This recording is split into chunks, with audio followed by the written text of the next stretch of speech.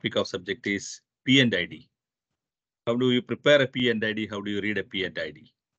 A basic uh, subject, a foundational level, of course, but still worth refreshing for all seniors who are present here and for all the youngsters who are new to reading P and ID. Today, uh, uh, the topic is being taken by Mr. K. Sivakumar.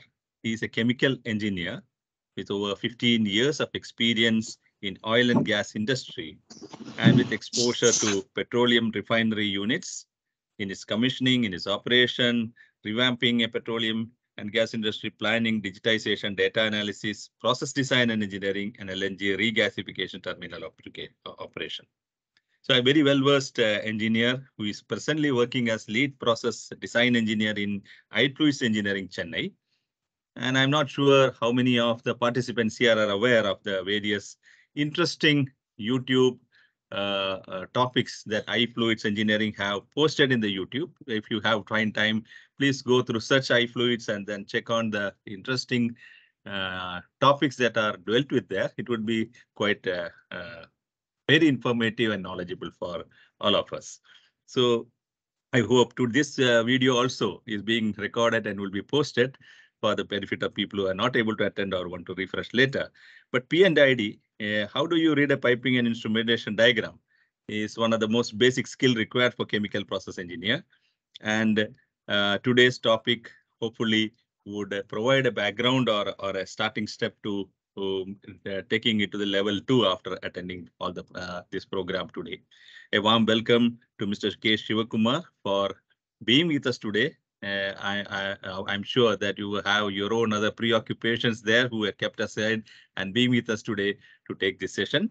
On behalf of NSC Kerala chapter and HSE forum, a warm welcome, Mr. Sivakumar. Thank you, sir. And thank you. Thank you, most welcome. Uh, and is also uh, welcome all the participants who are present here. Uh, we have 42 participants today. Last one week, we have been conducting various sessions. We have got a tremendous response, 45 to 155 participants, to, depending upon the sessions, topics, and, and the, the kind of interest that are generated. Today also is no less. Uh, so thank you. I think your encouragement, your participation, what makes us uh, go forward, identifying topics of interest and posting in the webinar series. Also request a feedback uh, to us through the chat box on future topics that we can take it up on webinar or a physical session. Uh, you can also tell us whether you want a physical session or a webinar also, depending upon your convenience. So having set the context, I now request Mr. Sivakumar to take over. We will have a question answer session at the end of the session. And then if you have any difficulty, you can post the question on the chat box or you can unmute and ask the ask the question directly once the session is over. So I now request Mr. K. To take over the session. Over to you, Mr. Shiv. Thank you, sir. Uh, welcome uh, all uh, for this session. So.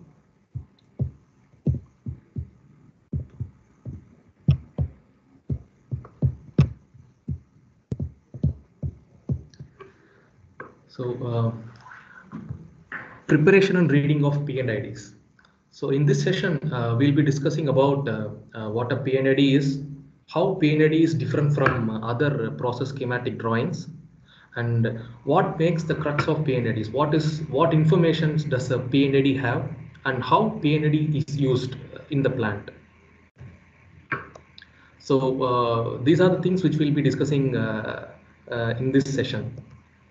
So now what is P&ID? It's piping and instrumentation drawing. It's nothing but a graphical representation of any process unit. So uh, it has uh, all the details in it. What uh, process unit uh, uh, must have. It has the flow flow directions of the fluids, whether it's process, utility, or fire water.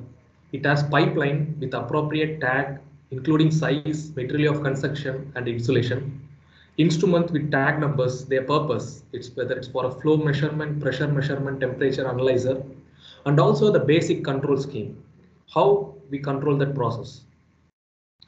Then equipment with nameplate details. So pumps, compressors, columns, vessels, etc. All these what all the equipments in the unit in the process flow will be uh, presented in this uh, P&ID and the nameplate details uh, not limited to its size, design and operating conditions will also be given in the P&ID. So uh, P&IDs is the basis for uh, further engineering and construction. So because you, in, in the engineering workflow, once P&ID is completed, from there inputs are taken for all these, uh, all the uh, departments. Process and operation. So mainly our startup procedure, shutdown procedures, cause and effect diagram, all operational checklist, drawings, everything is based on P&IDs. So mechanical team will take inputs and they'll be making data sheets for the valves, isometrics, and also insulation thickness is given in P&IDs. So instrumentation, they'll be uh, taking the control valves data, shutdown valves, what's the control scheme, what logic they need to build behind. So P&ID forms, P&ID is the basic document uh, required. So electrical team, of course, electrical machines are which are connected through the interlock will also be uh, appropriately captured in the P&ID and also heat tracing requirements if it is electrically traced. So all this information will be available in P&IDs. So this is how a typical P&ID looks. So this is a drain vessel. You can see all the inlet and outlet of the vessels are clearly mentioned, clearly shown uh, in this P&ID. And uh, you will also see the uh, protection devices. It's PSVs, connected pumps, and also we'll have the nameplate details here. So what is the name of the vessel? What is the tag number? What is the dimension? What is the operating or design condition, pressure, temperature, everything. So everything is captured, in, including the line numbers. So this is a typical P&ID. We'll be discussing in parts all these details. So first, before getting into it, uh, what, we have different process schematic uh, diagrams. One is block flow diagram, process flow diagram, and P&IDs. So you can see the detail of the process is increasing in this order. Block flow diagram is only a block representation of the unit or a process segment or equipment. In process flow diagram, there will be stream numbers. There will be no uh, valves, isolation valves, manual valves, drains, vents shown in this PFDs. So, but piping and instrumentation diagram, if you see, it's a bit detail oriented. It has all the inlet lines, it has the control valves, shutdown valves, everything represented. So uh, P&ID will give the entire uh, detailed schematic of any process unit.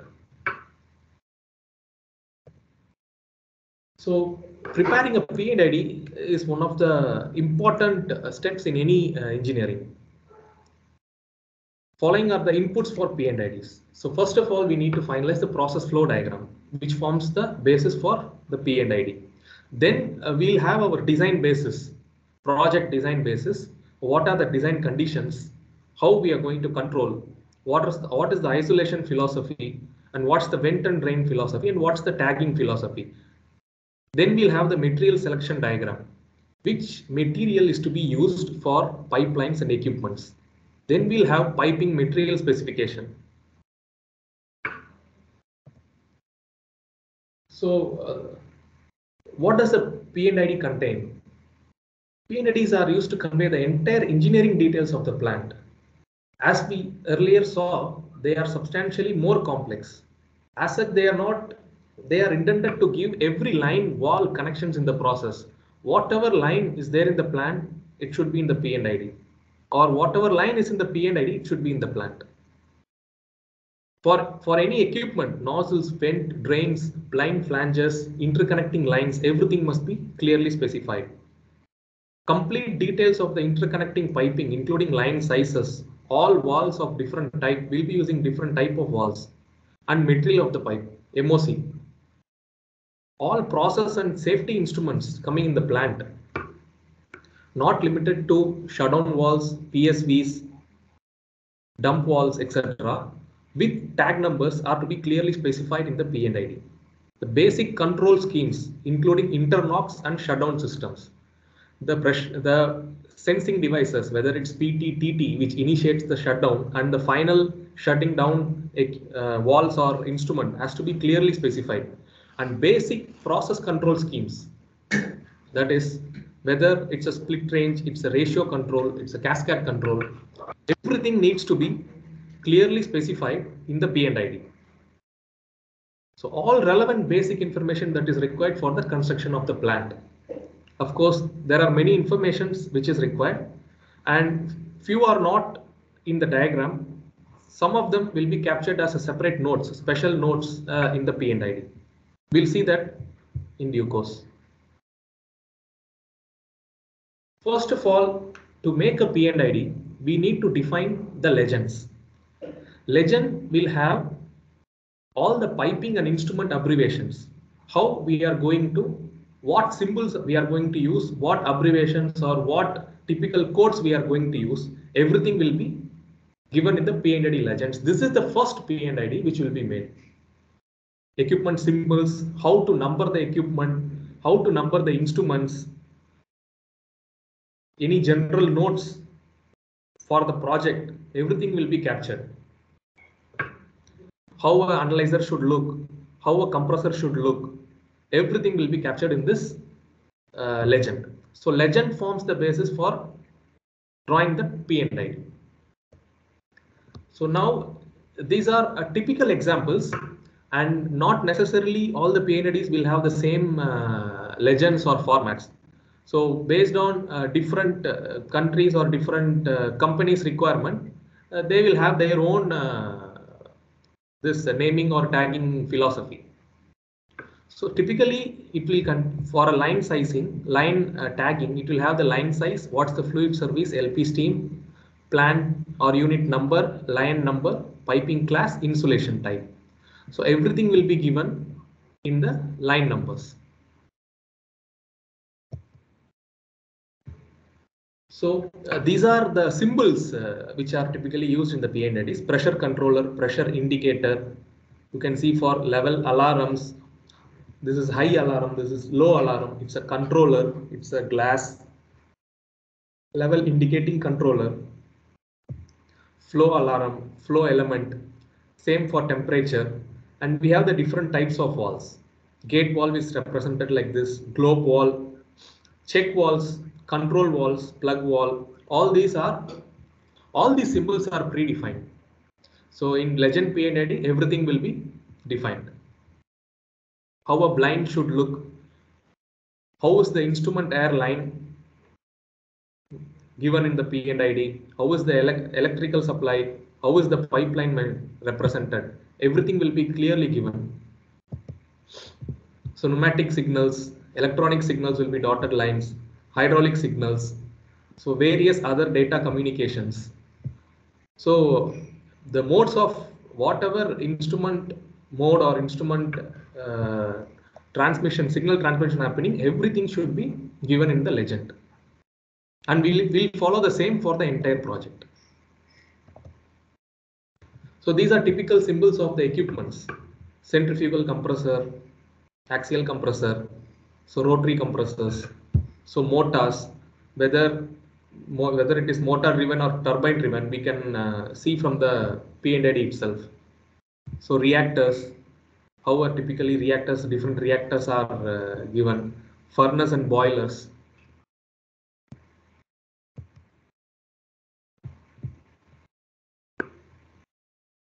So P&ID, so no, typically P&ID drawings uh, are numbered in the order of processing it just starts with the feed, ends with the product for any process unit. Following are the main parts included in P&ID drawing, drawing number and the details of the project. So this becomes easy for anyone who is new to identify. And for future also, if we have the drawing number, any changes can be easily updated. So pictorial representation of all the equipments. We saw that all the equipments, how it is shown in the legend. Whatever is in the legend we'll be using the same uh, pictorial representation. Details of all process and utility piping. Details of all the instruments and control schemes. All safety shutdown requirements, process and design parameters like operating pressure, temperature, mechanical design conditions, what is the maximum pressure it can withstand, everything is to be indicated in that equipment. Process notes, special uh, mentions like critical piping, uh, any special control is required, any safety precaution is to be taken during normal operations. All the things are to be clearly captured in process notes. And what happens, few equipments will be vendor provided. So we should be clearly mentioning the interface. So this is our scope and this is vendor scope. So it should be clearly mentioned uh, for uh, smooth commissioning and uh, construction. Any pending information or whenever there is a doubt, so uh, we don't know, there is a slight change in the process conditions. There is a requirement for change in process conditions and we are not sure. And if you want to release the preliminary P and IDs, all these uncertain parameters or uncertain condition are to be mentioned with hold. It's hold for that revision. Maybe in future revisions we'll be updating.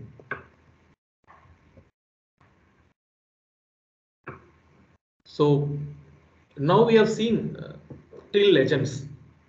Now a typical P and ID, uh, we'll see uh, to uh, with respective equipments what are the details are to be provided. Whatever equipments are installed, it should be shown. Normally, we'll be showing the dimensions, but uh, scaling is not done in P and IDs. Skirts for column reactors vessels are clearly mentioned and it's shown. So this is for vessels and separators. So vessels and separators, we know we have for a different purpose. It may be a surge vessel, it may be a oil water separator, it may be a gas oil separator. So the name of the vessel, details of its internals are to be clearly shown in P and IDs. All the nozzles are to be clearly identified and sizes are to be mentioned. All the instrument thermowells, sample connections, vents, drains, flanges, blinds, relief valves, including size and set pressure are to be mentioned. Notes regarding the internal coatings, you want any special corrosion, anti-corrosion coatings to be given if, if for it being a corrosive environment. It has to be clearly mentioned in the note section. All the level instruments and the level control system, everything is to be given clearly in the P and IDs. Now we'll see a typical vessel in a P and ID. So here we here we can see there is a inlet diverter that is an inlet device. We have a mist extractor. We have oil water separator here. So uh, we have an interface level measurement. There we have a controller controlling the level.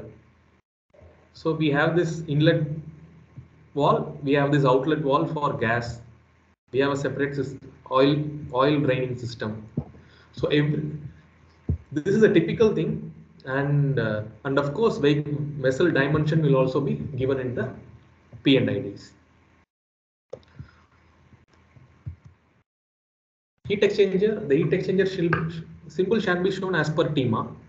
All inlet outlet nozzles shall be marked clearly. In nameplate details, we'll specify the heat duty, operating conditions, pressure, temperature.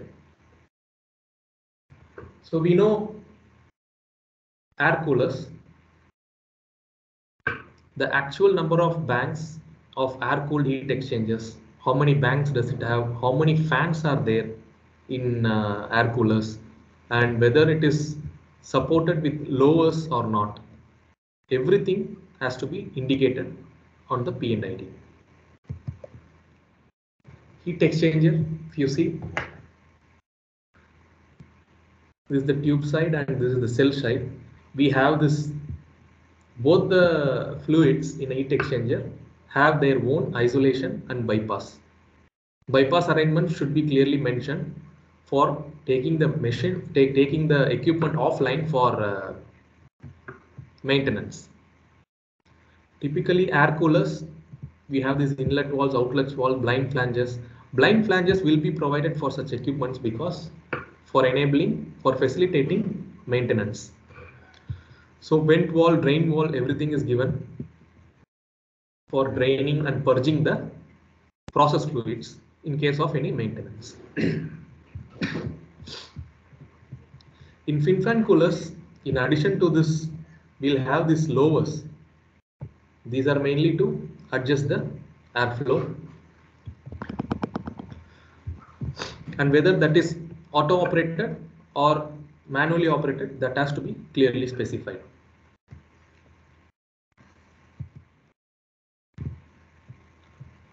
Then we'll have compressor.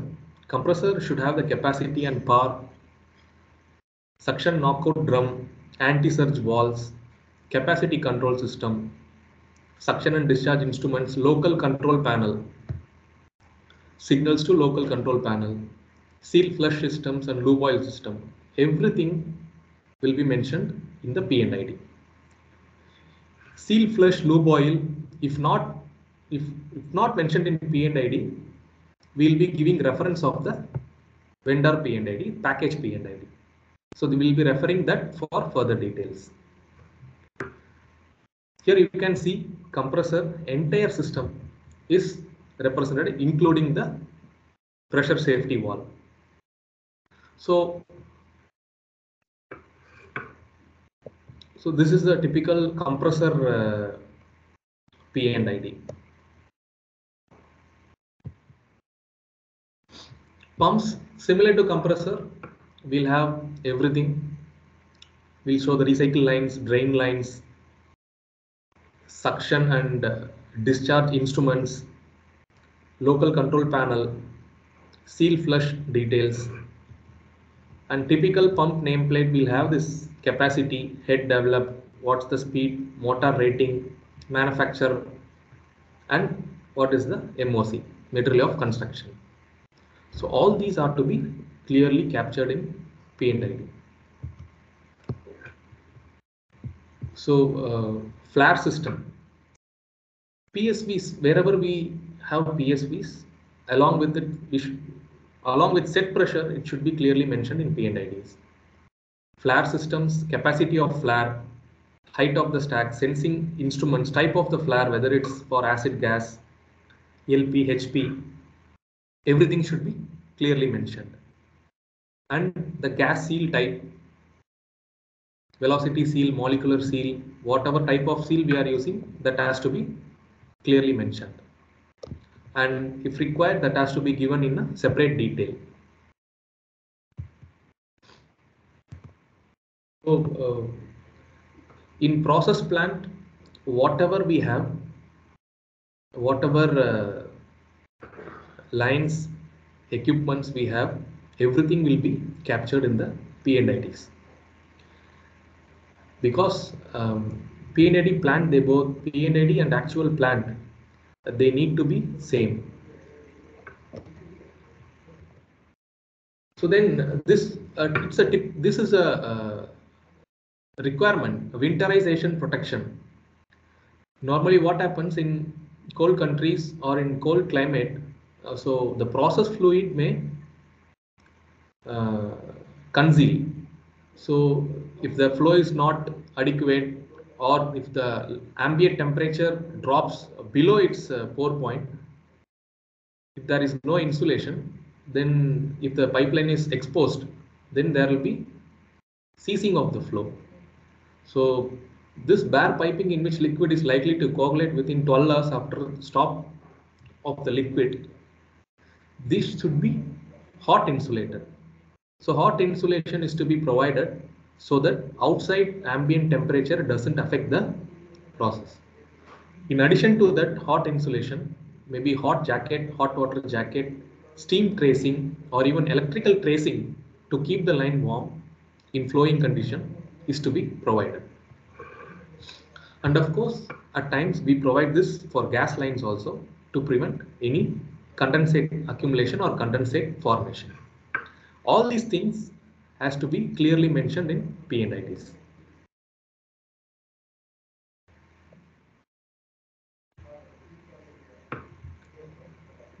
Not stopping there, there are few more things uh, which needs to be addressed. Slope requirement of the line.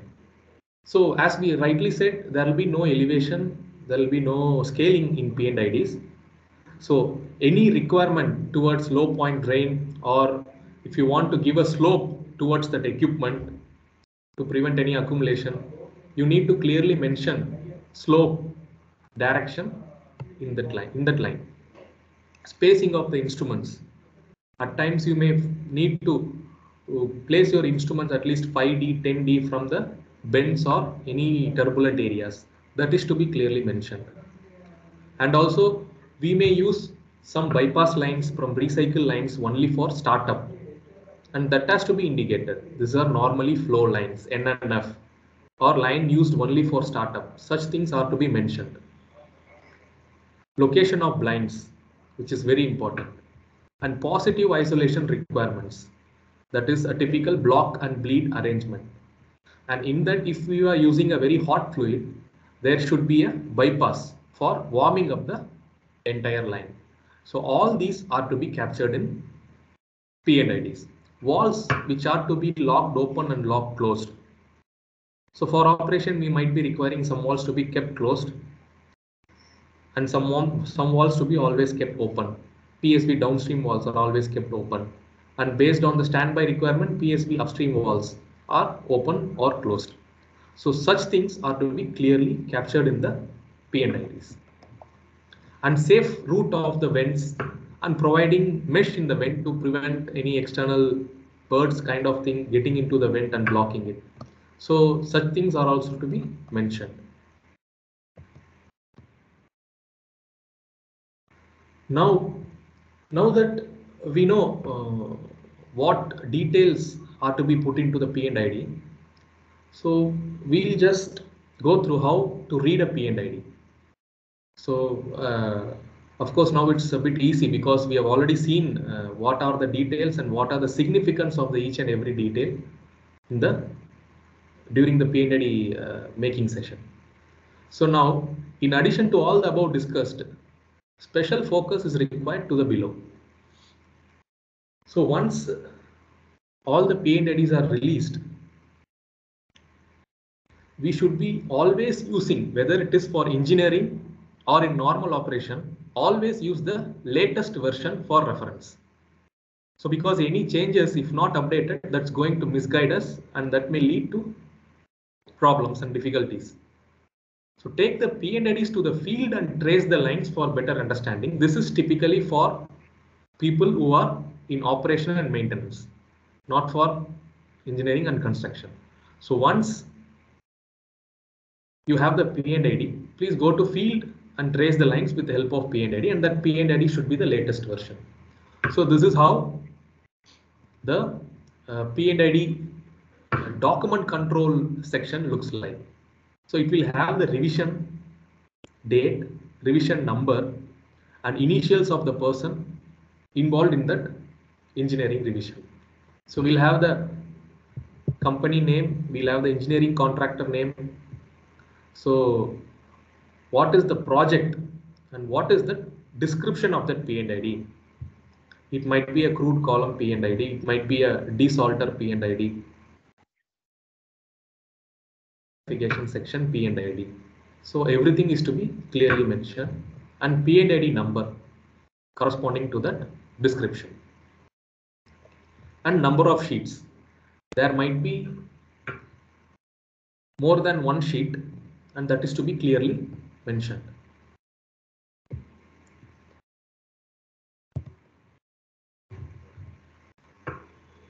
Now this is one thing where uh, many of us ignore because we see only the lines and equipments and we'll directly jump to the next P&IDs. We'll follow the flow path. That, must, that, that must not be done. So each and every P&ID will have a note section and all the notes must be clearly understood while studying the P&IDs because each and every note will have a engineering significance or a safety significance so everything will be covered in that notes. For example, field to blind connection, connection for used oil vessel drain. And this being a revamp, complete respooling of lines may be required to tie in new lines into the pipe rack because the unit has gone for a revamp. Now during engineering, we have found that new tines are to be added to the existing line and that spool requires a modification. So this will be a input for mechanical team. You find that there are two, three tappings coming from that same location, near to that same location. So that's the demand. We have added external, you another new equipment where that equipment is also drained towards this spool. Then you might feel, no, there will be some respooling of this area. So those are things we need to capture in P&IDs. Then while executing the job also, we need to be clear about this. Pipe should be free of pockets and stagnant areas. There might be H2S or corrosion related issues, wet H2S corrosion related issues. So designer has given there should be no stagnant areas. Line should be sloped. So it should be free of pockets. There The liquid should not get accumulated in the pipeline.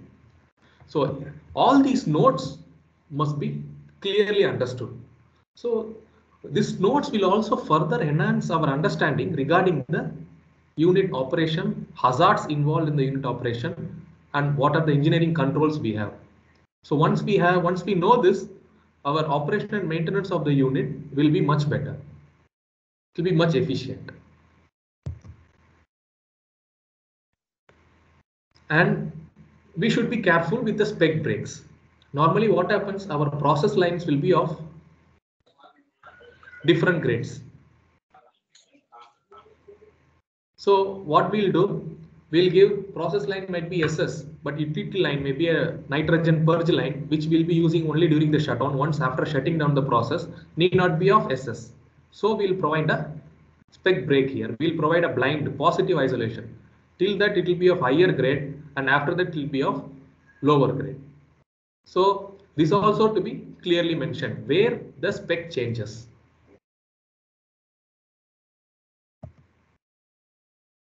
So in P&IDs, we should be very clear about isolation of the equipments, location of the valve, blind, drain, how to bypass the equipment where the purge connections are given. Everything is to be clearly understood and read. Control scheme. What is the type of controller we are using? Whether it's a split range, whether it is a ratio controller, whether it's a cascade controller, everything is to be understood. And as you know, legends will help us in understanding the P&ID better. Startup override, whether it is given in startup override for this particular tag, instrument tag, is there any ESD associated with this instrument tag? Suppose if there is a ESD associated with this PT or FT, that is to be clearly mentioned. If not mentioned, what happens? In, in case if it is given for maintenance and someone isolates, Second, that consequent trip will act. So everything has to be clearly specified. And bypass of control valves. Wherever bypass is provided, bypass has to be clearly mentioned in P&IDs and we should understand and know the bypass valve, location, everything.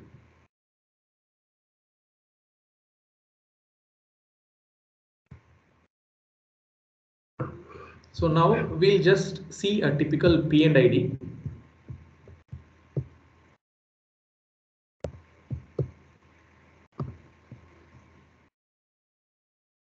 So uh, we have a crude inlet here. It's a it's a separator. So you see the manways are also shown. You see the insulation of the vessel is shown. Then we have this level control systems. LG is there, LT is there. We'll see the gas. It's a separator where uh, gas and liquid is separated. We have this gas outlet. So line size is mentioned. Line number is mentioned. We'll have the control valve. This control valve takes input from this PT, which is in the next P&ID. So you have the shutdown valve. in case of any emergency or any uh, eventuality, high pressure, something like that, this will close. This will prevent this gas from entering into the system. Then we have the pressure safety valve. PSVs are there. So you see PSV discharge is routed to flare that is shown. We can see the slope, do not pocket. So all the things are clearly mentioned in P and IDs. And of course, the drain also is clearly mentioned. Where the drain goes, where the outlet goes and how the outlet flow is controlled. Level is controlled with the help of this LT.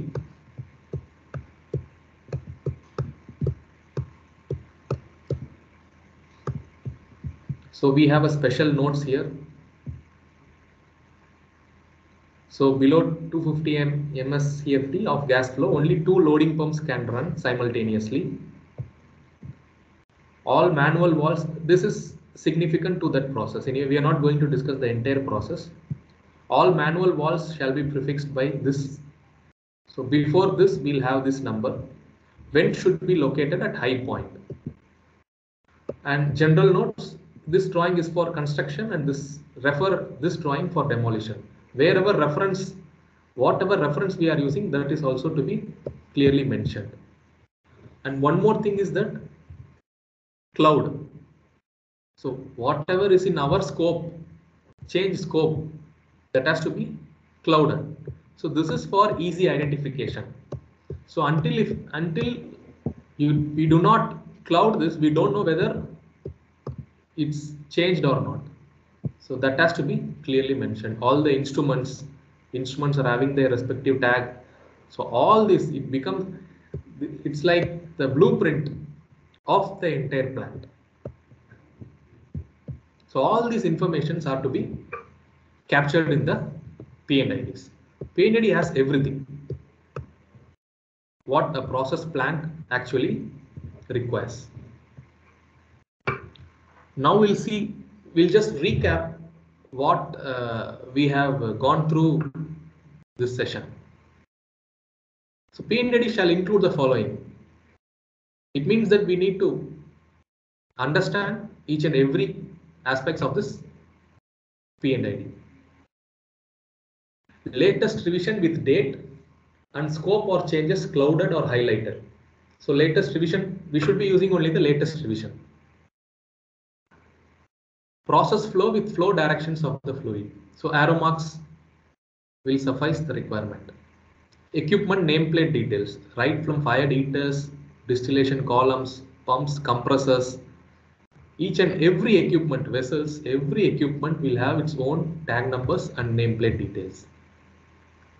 Piping size, class, specification breaks, as we mentioned, all the instrumentation, including control scheme and shutdown systems, which is very, very important because based on this only instrument uh, team will develop the logic diagrams, everything. So all the equipments with isolation and bypass valves, these are to be shown because our normal operating procedure for each and every equipment for taking it in line, bypassing, taking, handing over for maintenance, we need we'll be making a procedure and that procedure will be based on the P&ID.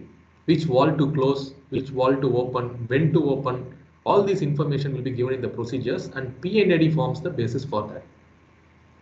Lock open, lock close valves slope, vent, drain, wherever cleaning is required, removable spool shall be provided and that detail has to be mentioned in the P&ID. And we should understand that for our normal operation and maintenance vendor packages. And what is the scope of the vendor? From where the vendor package starts? From which flange vendor package starts? That has to be clearly mentioned. Insulation and trading tracing details that is winterization requirements.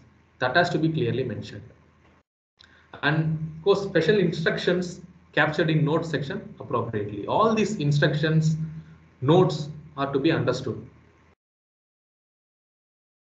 And this is how uh, we uh, make P&ID and uh, uh we uh, should read, understand P&IDs. thank you. Thank you.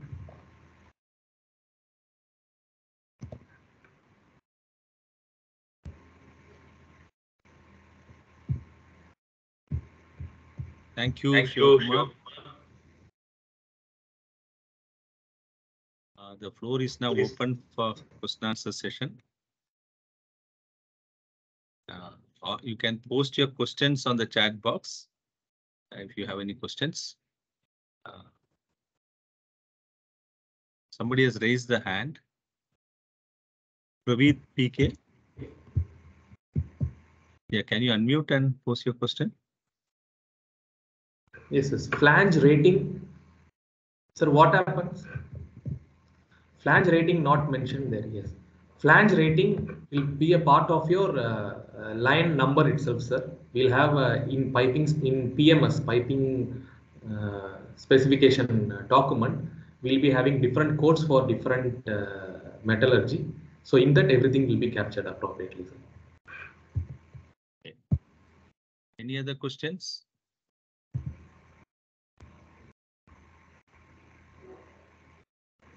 Participants are encouraged to either unmute and pose a question, or you can straight away post your doubts on the chat box.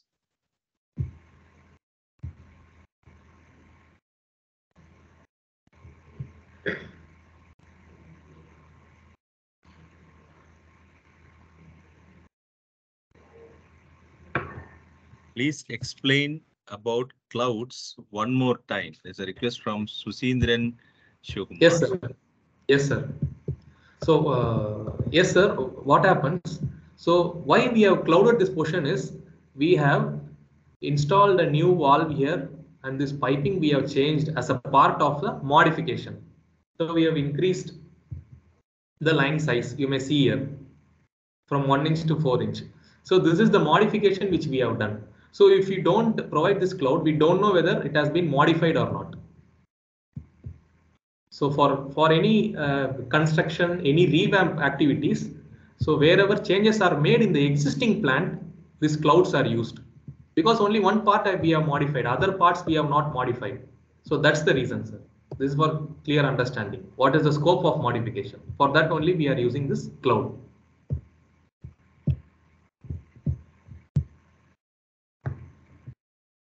Any other questions?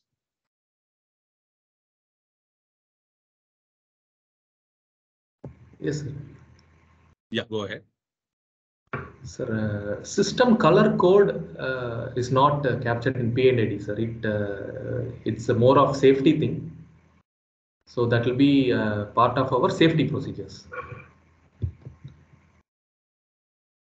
P&ID symbols, sir. Normally, yes, PNID symbols are used from which standard?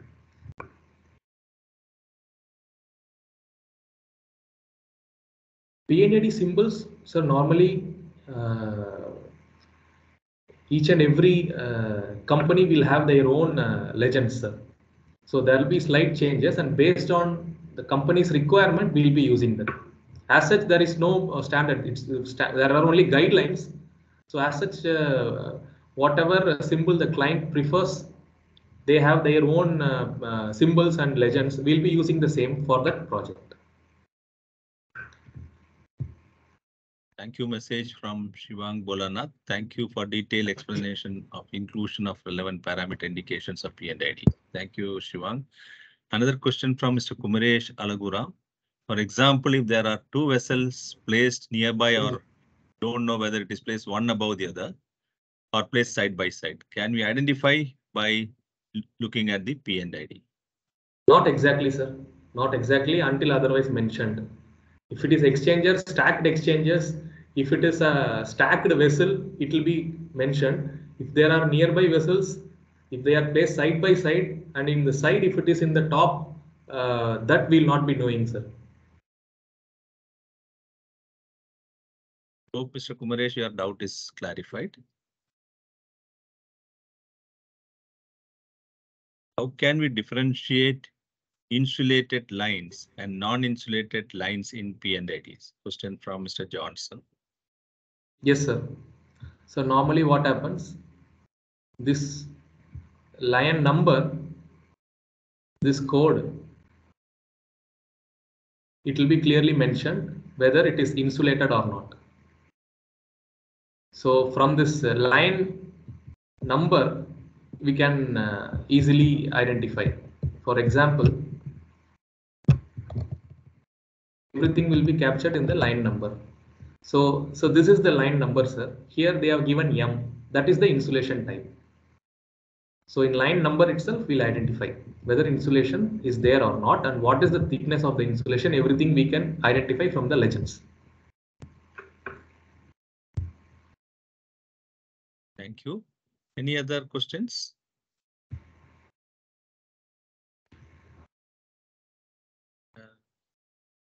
Any other questions? Kindly post in the chat box or you can unmute and post.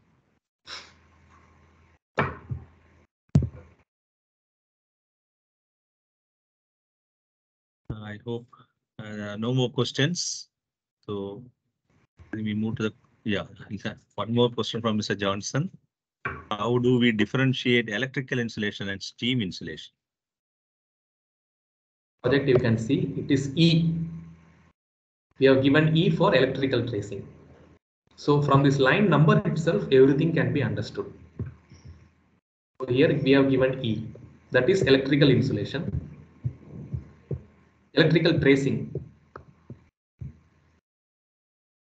Here there is no tracing, here there is tracing. So with this E means electrical tracing.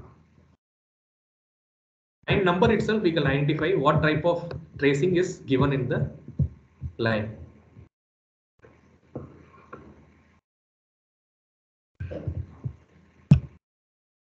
Any, any more questions?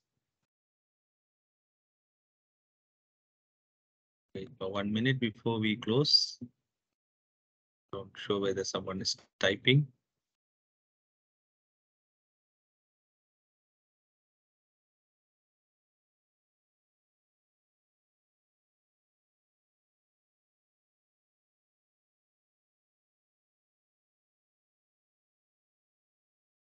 Yeah, I don't, yeah, yeah, thank you, yeah.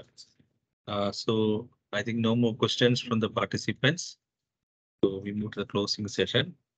And thank you, Mr. Sivakumar, for Thank uh, you, starting from the basic fundamentals of uh, uh, differentiating between a process flow diagram and a P and ID. uh, how symbols are used, what are the abbreviations that we use in P and ID, uh, and then how do we do the stream numbering and how do we uh, the equipments? And then you talked about the winterization protection requirements and how do you show it in a P and ID? Uh, and then finally, how do, after preparing, how do we read a P and ID? A complicated diagram uh, that you took up with a selective explanation looks so simple. So hopefully, eh, for those who are new to reading P and IDs, when you try to look at your drawing, it may not be as simple as uh, it appeared to be, but definitely you can slowly uh, catch up with how to read a P and then move on. Uh, so a great thanks to Mr. K. Sivakumar for being with us today on sharing his, his knowledge on P and IDs preparation and reading on behalf of uh, National Safety Council Kerala chapter and on behalf of HSC Forum. A big thank you for to Mr. Shiv uh, from iFluids Engineering, Chennai. Thank you, sir. Thanks Thank to you. all. Yeah, thanks to all participants. We had 65 participants today uh, joining for this program. Uh, in fact, we are not very sure because uh, for senior people, this subject looks so simple and elementary. Uh, but we saw that it was we add a lot of value to the young engineers who are new to the uh, factories and system. Uh, but we see a lot of people who are logged in with a lot of experience as well as youngsters. Many, many thanks to all the participants for the active support rendered to HSC Forum's uh, safety webinar series. Not only this, but also in the past few days, we have been conducting various diverse topics on QRA, on electrical safety NEC 2023, on uh, uh, uh, uh, various topics which uh, definitely would have added value to the respective discipline. And each of these talks were quite well represented uh, by, by the participation. So on behalf of National Safety Council and HSC Forum, a big thanks to all the participants who have given encouraging response to the webinar series. Looking forward to your active support in future also. Thank you all. Thank you very much. we now log off. Thank you, sir. Thank you. Thank you.